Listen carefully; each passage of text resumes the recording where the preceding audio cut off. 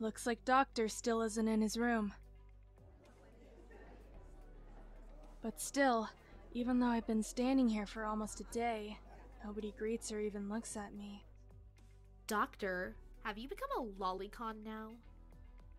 We still need more people here. I really appreciate you being with us. You can just call me Doctor, okay? But now this place is getting more and more crowded. Guess I just wasn't useful enough.